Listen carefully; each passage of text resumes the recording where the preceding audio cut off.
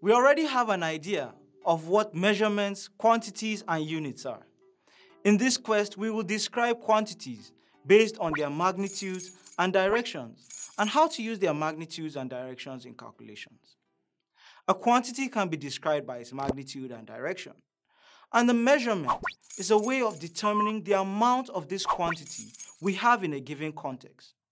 And units are the agreed subdivisions that help us to have a standard measurement for each quantity. Now, fundamental quantities, such as mass, length, and time, are those that are independent of other quantities and are measured in base units. To use an analogy, fundamental quantities are like primary colors. All other quantities are made from a combination of these. On the other hand, derived quantities, such as speed and acceleration, are made of a combination of fundamental quantities. So to follow our analogy, these derived quantities are the secondary colors. These quantities can also be classified into two groups depending on their relationship with magnitude and direction. These two groups are scalars and vectors. Now, scalar quantities are quantities that are fully described by their magnitude or a numerical figure alone.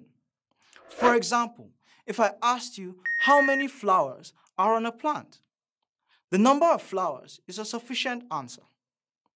Examples of such quantities that can be defined by magnitude alone are mass, length, and speed. Now let us take mass for example.